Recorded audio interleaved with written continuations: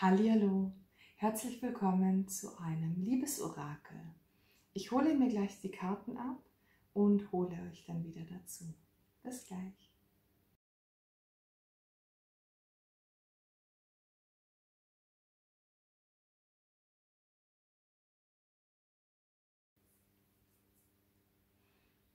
Meine Lieben, die Karten sind da. Ich habe mir schon ein Bild gemacht.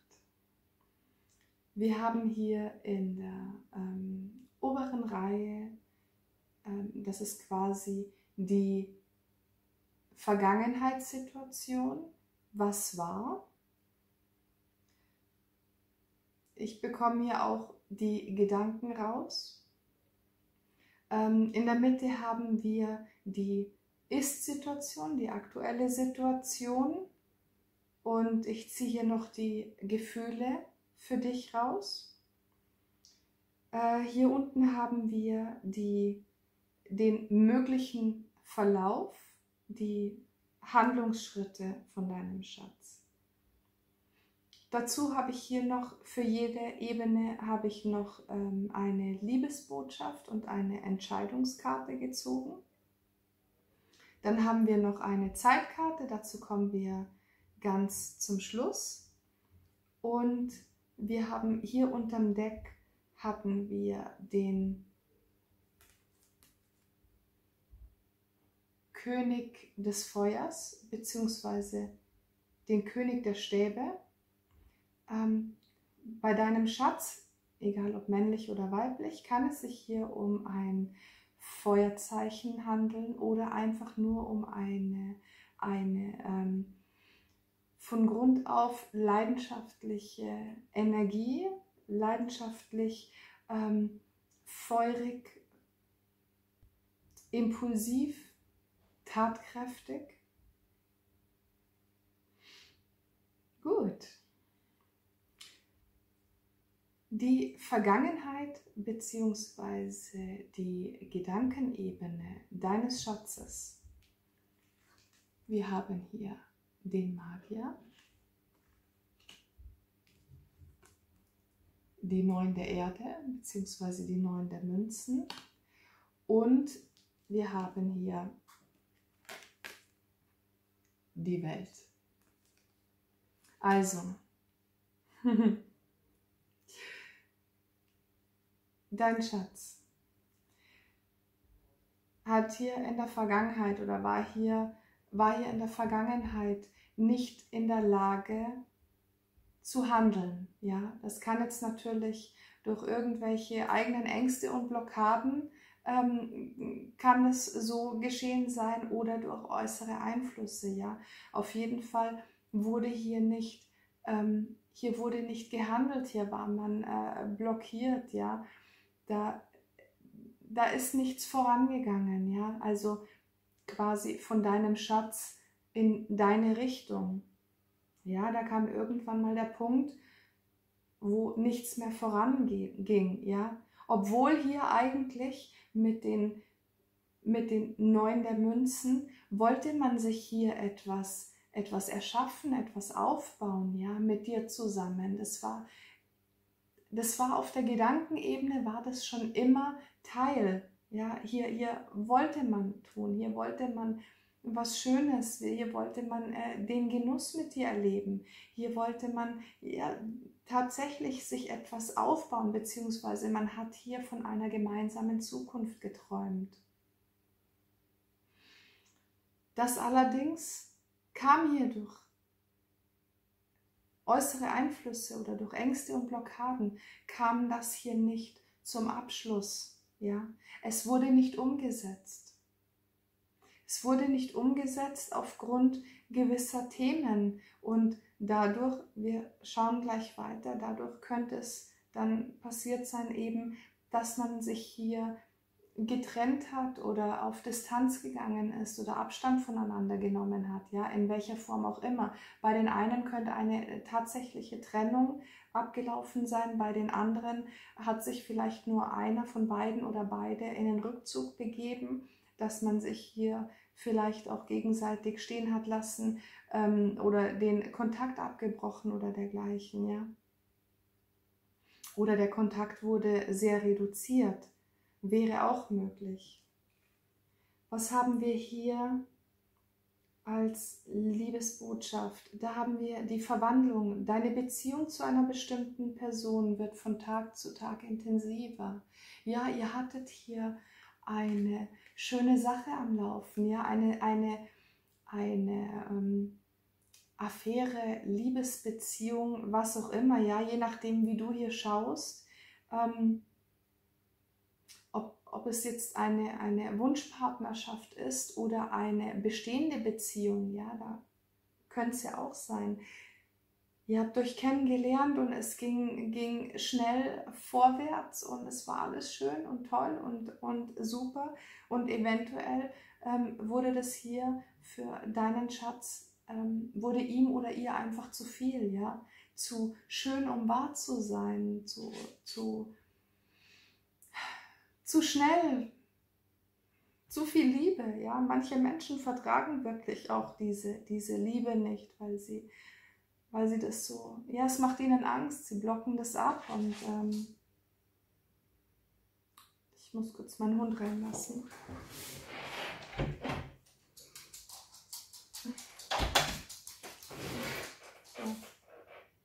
Ja.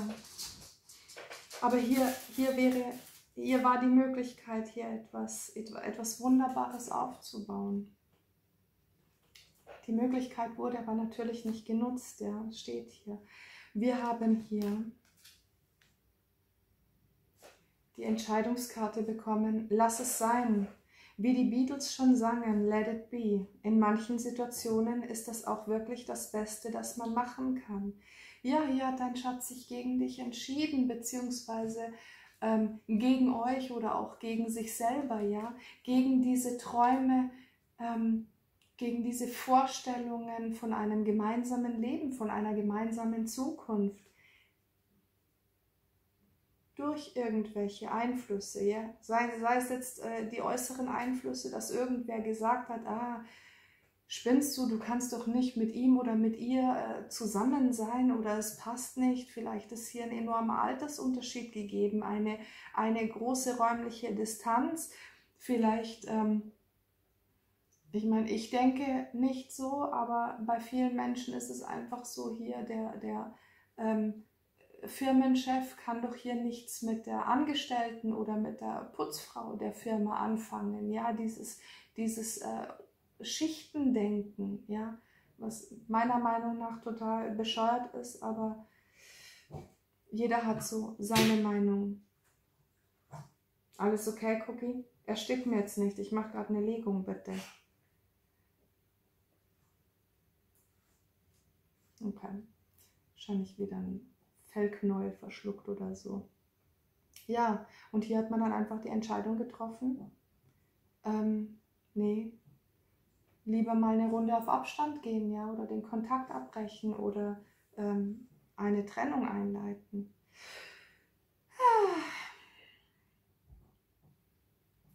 Ist manchmal der einfachere Weg, ja, ob das jetzt der bessere ist, wage ich zu bezweifeln. Aktuelle Situation bzw. die emotionale Ebene. Hier haben wir die vier des Wassers, oder die vier der Kelche. Ich sage es jetzt einfach so, dieses Deck ist eben äh, mit den Elementen verbunden. Wir haben hier die sieben des Wassers. Und wir haben das Ast der Stäbe. Ja, die aktuelle Situation sieht so aus, dass hier dein Schatz immer noch nicht in die Puschen kommt. Ähm,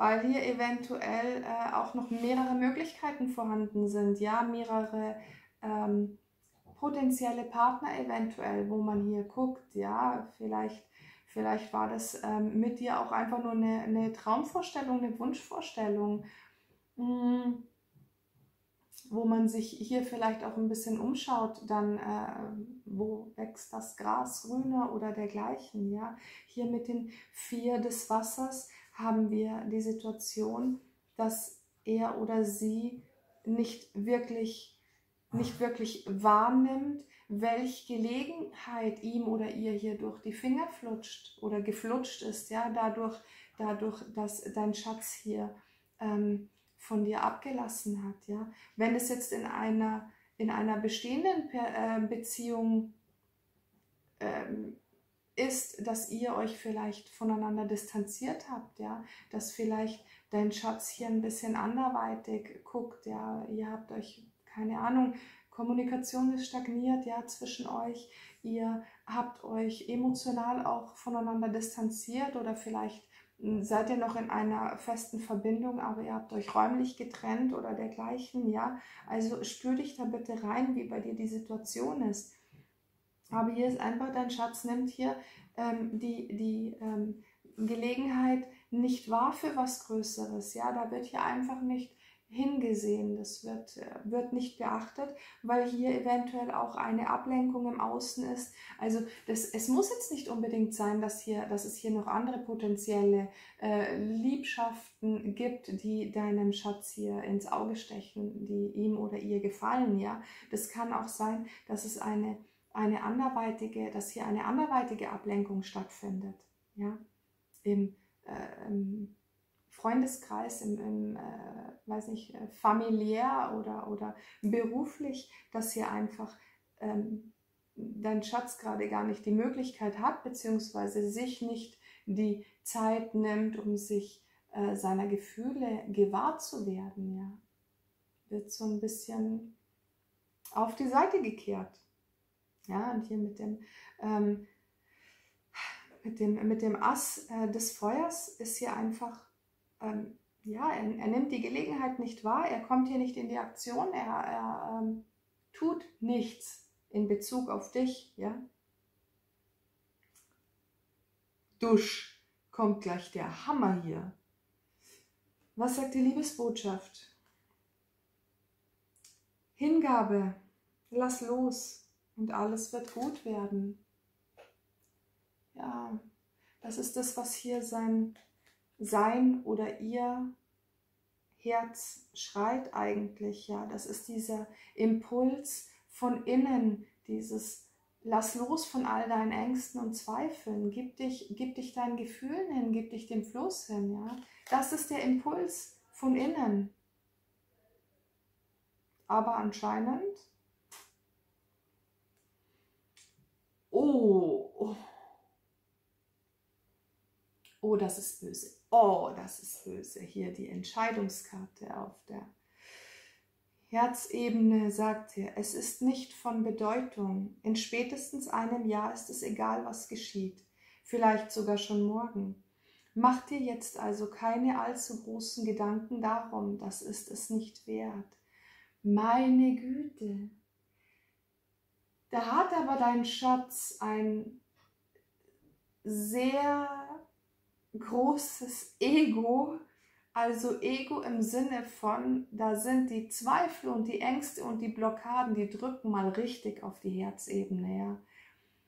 Die reden hier ununterbrochen rein und ähm, ja gut, äh, Entschuldigung, kein Wunder, bei bei der Aussage hier, was hier die Ängste und, und Zweifel hier reinbringen, kein Wunder, dass dein Schatz vor seinen Gefühlen flüchtet. Ja, also Entschuldigung, würde ich wahrscheinlich, wäre ich nicht so ein, so ein emotionaler Mensch, so ein Herzmensch, würde ich mir wahrscheinlich hier auch in die Hosen machen und ähm, die Dinge ähm, nicht betrachten, wie sie sind, ja, die Gefühle nicht beachten.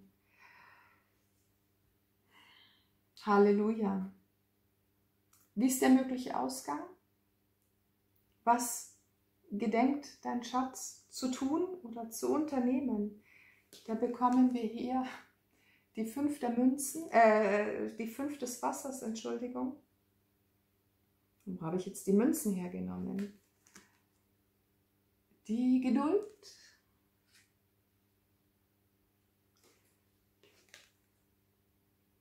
Und wir haben hier den Ruf.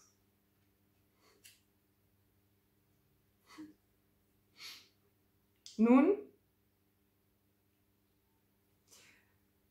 ich würde dir gerne was anderes sagen, aber dein Schatz ist ein Arsch.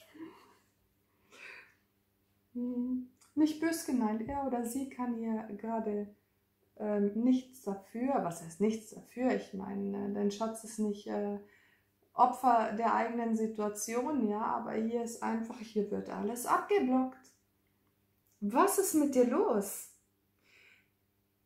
Die fünf des Wassers, ja. Hier ist ein Teil von deinem Schatz, trauert hier der Situation, ähm, der alten Situation oder dem alten Zustand mit dir ähm, nach. Ja, hier ist, hier wird, hier wird getrauert um das, was ihr hattet, ja, und es wird aber nicht im geringsten betrachtet, was ihr zwei haben könntet miteinander, ja, die, diese Möglichkeiten, ja, dieses, diese Verbindung, diese Zweisamkeit, diese Vereinigung, das ist, wo ist der Hammer?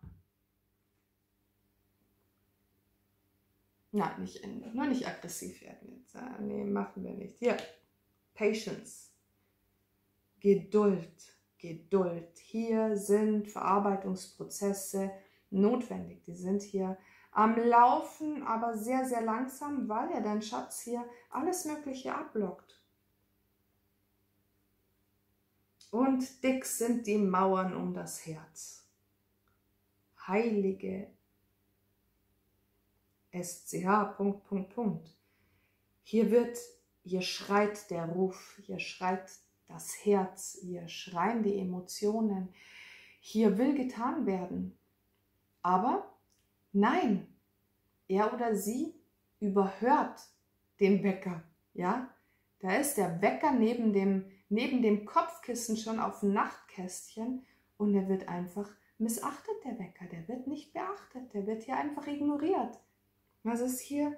Da ist der Ruf. Der Ruf ist eigentlich, der Ruf ist laut, ja. Also das hier ist jetzt nicht irgendwie nur so ein kleiner Wecker, der ein bisschen piep, piep, piep, piep macht, sondern das ist hier der, der Dampfhammer eigentlich, ja. Und zwar ist es der Wecker von oben. Der Wecker von oben und der wird hier unterdrückt und zwar so dermaßen. Aber weißt du, was das Gute an der Situation ist? Das da hier. Und da verwette ich meinen Hintern drauf. Das ist eine Sache, oder beziehungsweise die Erfahrung habe ich gemacht. Das ist eine Sache, die funktioniert eine Zeit lang gut. Ja? Ähm, dieser Weckruf wird immer lauter und immer lauter. Ja? Man kann hier äh, durch gewisse Abwehrmechanismen oder dicke Mauern kann man hier diesen Ruf schon äh, mal eine Zeit lang ignorieren. Aber irgendwann mal, irgendwann mal, ihr Lieben, kommt der Dampfhammer. Und da ist ein Schatz nicht mehr in der Lage, diesen Ruf zu ignorieren. Ja, das verspreche ich. Es kann dauern, bei dem einen ist es kürzer, bei dem anderen dauert es länger. Ja, also ich kann hier zeitlich, wir haben hier eine Zeitkarte liegen, da schauen wir gleich drauf, aber das ist wirklich ähm, der Hammer, der kommt und der pustet ihm die Birne weg oder ihr. Wir haben hier zwei Liebesbotschaften bekommen. Was sagen die aus? Umarmung, du hast dein perfektes Gegenstück gefunden, ja. Das ist das, was dein, was dein Schatz hier innerlich auch weiß und wahrnimmt, ja. Aber das wird hier ignoriert, aber das kommt hier mit dem Dampfhammer, kommt es hier ans Tageslicht. Früher oder später. Hm. Freundschaft. Pflege die Bande der Freundschaft. Ja, eine Freundschaft ist für mich auch eine, eine gewisse tiefe Verbindung, wo einfach dieses, wo dieses Vertrauen passt, ja, man, man, ja, diese, diese Freundschaftskarte hier zeigt diese Verbindung für mich auch auf, ja, äh, wenn zum Beispiel, ich habe mich, letzte Woche habe ich mich mit einer Freundin getroffen, die habe ich schon frag mich nicht, wie lange nicht mehr gesehen, ja, aber das waren es ein Jahr oder waren es zwei Jahre, keine Ahnung. Und wir saßen gemeinsam im Restaurant und wir haben uns unterhalten und es, es war so, als äh, wären wir nie voneinander getrennt gewesen, ja. Das ist dieses, dieses Band, ja, wo einfach dann weiterläuft. Und das ist hier, ich weiß nicht, ob er mich jetzt noch versteht, weil ich ein bisschen abgeschweift bin, Aber das ist hier eben die Verbindung zwischen euch, dass wenn beide, also wenn ihr euch zum Beispiel wieder begegnen würdet, ja, also ähm, wenn ihr euch treffen würdet oder dergleichen, ja, oder jetzt in einer bestehenden Partnerschaft, wenn ihr miteinander seid, dass ihr einfach wieder ähm, euch zusammensetzt und euch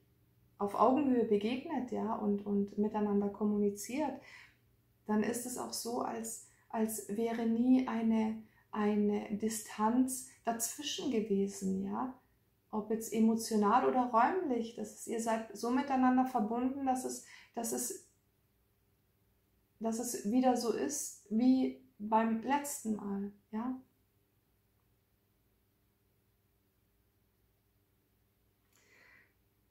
Was sagt die Entscheidungskarte für die mögliche Zukunft, für die Handlungsebene? Ha, ha, ha, ha, bam, okay, hier, da, sorry. Und das kommt jetzt, diese Botschaft hier kommt jetzt zu einem Kopfmenschen. Ha? Höre auf dein Inneres. Der erste Impuls kommt meistens von unserem Unterbewusstsein und ist oft gar, oft gar keine so schlechte Antwort auf unsere Fragen. Vertraue deinem Instinkt und tu das, was sich am besten anfühlt. Ja, meine Liebe, mein Lieber, das ist es. Aber wenn du hier natürlich dich von deinem ähm, Ego, von deinen Ängsten, von deinen Zweifeln unterbuttern lässt, dann kommst du hier nicht voran. Und ich wiederhole mich hier nochmal. Keine Sorge. Hier, wenn der Dampfhammer kommt und dich einholt, mein Lieber, da schaust du dich aber um. Und der Dampfhammer kommt? Ja, der kommt, der kommt. Als Zeitkarte habe ich das hier bekommen. Die Jungfrau-Karte entweder bist du hier äh, Zeichen Jungfrau oder hast es äh, in äh, Sonne, Mond, Mars, Venus oder ähm, dein Schatz hier. Ähm, hier steht, sammle die Ernte, die Zahl 6, sechs Wochen, sechs Monate. Ja, Liebes, Sechs Wochen ging ja noch, sechs Monate ist eine lange Zeit, ja. Aber göttliches Timing, gewisse Prozesse brauchen ihre Zeit. Ich weiß, ich weiß, ihr könnt es nicht mehr hören, aber hey, auch ich bin dem göttlichen Timing unterlegen, ja, und mir gefällt es auch nicht immer in meinem in meinem Alltag, ja, in meinen Alltagssituationen, sei es jetzt äh, beruflich, liebestechnisch, finanziell oder, oder sonstiges. Aber ja, wir können sowieso nichts dran ändern. Schau du bitte für dich, dass du hier nicht in einer Warteposition drin steckst, ja? Weil, also natürlich, stopp, stopp, stopp, stopp, stopp. Natürlich, wenn du hier in einer äh, bestehenden Partnerschaft dich befindest, ja, und dir wird es einfach zu blöd, dass hier nichts vorangeht und dass ihr in diesen, äh, in dieser emotionalen Distanz vielleicht verweilt, ja, dann hast du ja die Möglichkeit, oder da hat ja jeder die Möglichkeit zu sagen, du stopp, weißt du was, ähm, so nicht. Entweder, entweder wir ähm, kommunizieren jetzt miteinander und wir machen hier, schaffen hier Klarheit in unserer Situation, in unserer Beziehung, ja, und sind offen und ehrlich äh, zueinander, oder wir lassen den ganzen Dreck, ja, egal was da dran hängt, ja. Schau bitte auf dich, guck, oh, ich, ich möchte jetzt gleich noch ähm, für dich hier als Zuschauer möchte ich gleich noch äh, ein, zwei, drei, weiß nicht, wie viel ich bekomme, Karten ziehen. Als, ähm, als Ratschlag für dein Vorgehen hier in dieser, in dieser Situation. Ja? Also du kannst hier natürlich jetzt drin bleiben, ist deine Entscheidung. Du kannst auch sagen, ey, weißt was, ich ziehe mich zurück, weil was soll der Kack? Hm. Ich, ich wiederhole mich nochmal. Der Dampfhammer kommt und dein Schatz wird dann nicht länger in der Lage sein, sich zu verstecken vor seinen Gefühlen, vor seinen wahren Emotionen, von der Wahrhaftigkeit eurer Verbindung. Natürlich schreibt mir sehr gerne eure Meinung wieder in die Kommentare. Ich lege hier deinen Schatz mal dahin. Ich ziehe für dich jetzt Karten. Was ist...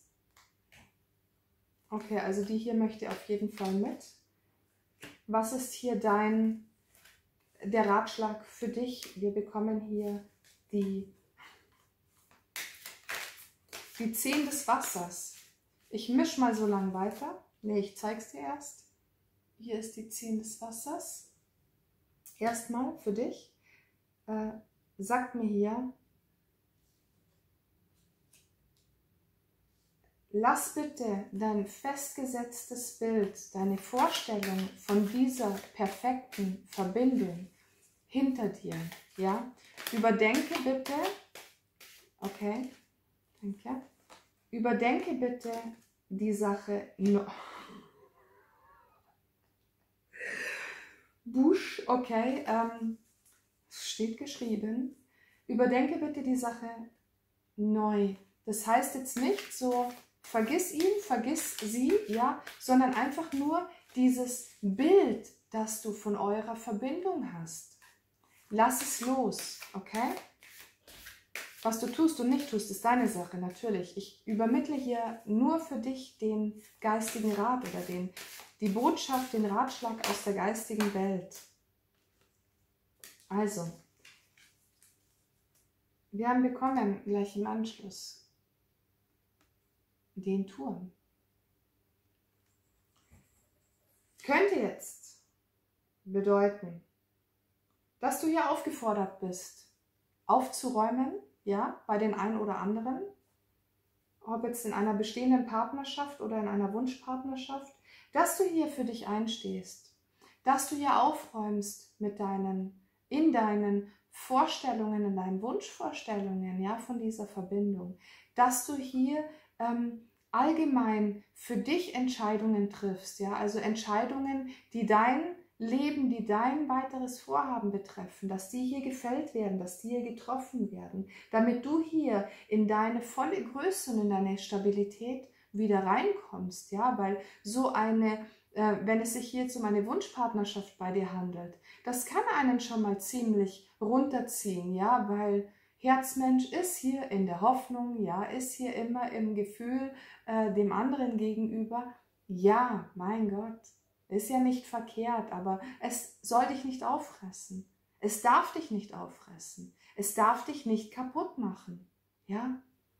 Du bist so großartig, du bist so, du bist so schön und so klug und so toll und lass dich nicht kaputt machen von sowas, ja? Nicht davon, egal wie stark die Verbindung ist. Du bist hier, um dein Leben zu leben, immer noch der Tür.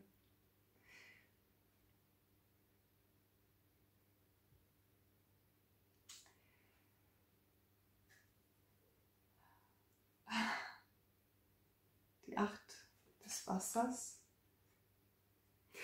Ich werde gleich emotional. Ja, ich habe letztes Mal schon, ähm, jetzt eins der letzten Video war, ähm, wie, wie hieß es? Wenn ich es nicht vergesse, kann ich es ja verlinken. Und manchmal ist es einfach besser zu gehen. Das sagen hier die Acht des Wassers, sagt hier auch aus, ähm, wenn das hier alles eine zu große Belastung ist für dich, diese ganze Situation, diese ganzen Umstände, diese Warterei, ja, und doch ihr sollt nicht warten, ihr dürft nicht warten, ja, weil das, das hindert euch an eurem Vorankommen, das hindert euch zu leben, ja, aber dennoch macht es. Ein Gefühlsmensch tut dies einfach, ja, weil ein Gefühlsmensch einfach in seiner Emotionen lebt. Ist so.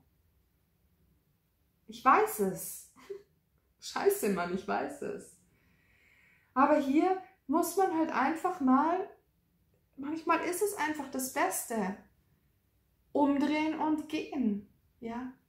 Und auch wenn hier schöne Momente, schöne Zeiten zurückliegen, dann behalte dies in deiner Erinnerung. Aber manchmal muss man für sich, für sein Leben einfach die Entscheidung treffen, ich gehe jetzt. Ja?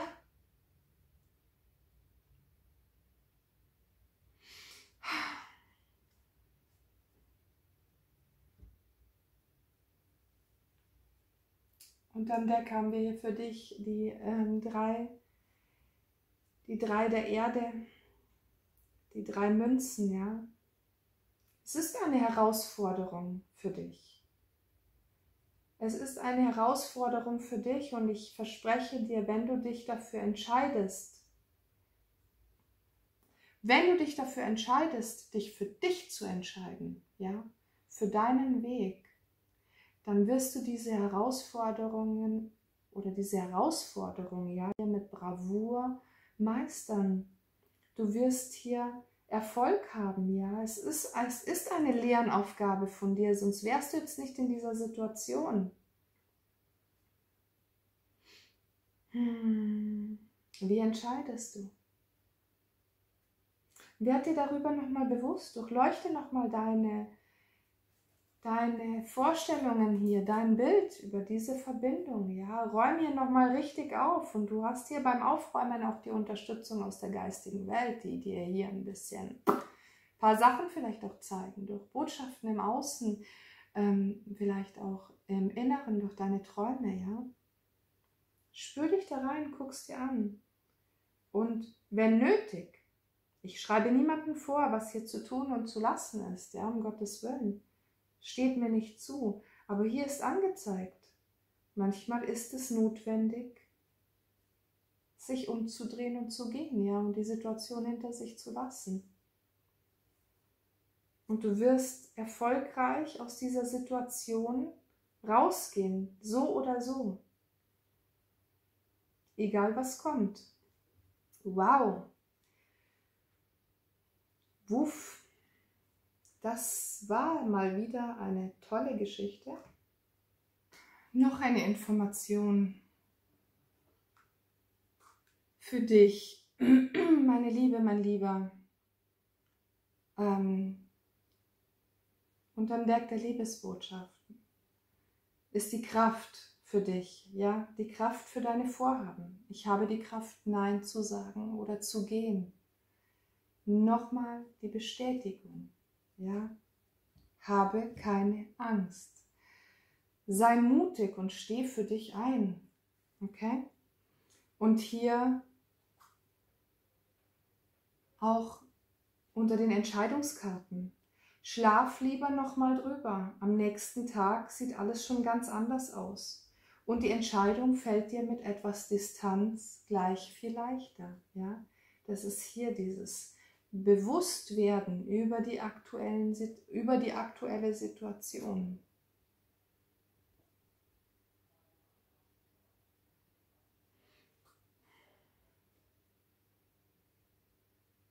Ja, ihr Lieben, ich danke euch von Herzen fürs Zusehen. Bis zum nächsten Mal.